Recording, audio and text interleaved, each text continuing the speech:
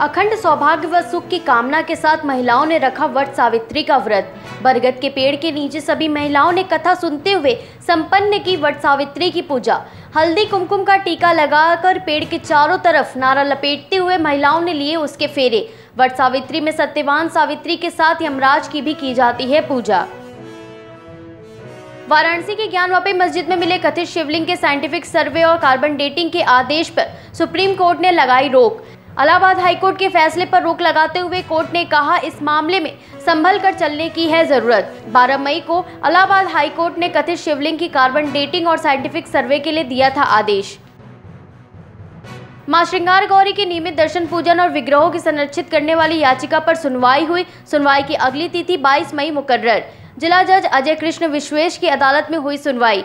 सुनवाई में कमीशन की कार्रवाई को आगे बढ़ाने वाली प्रार्थना पत्र पर किया गया विचार।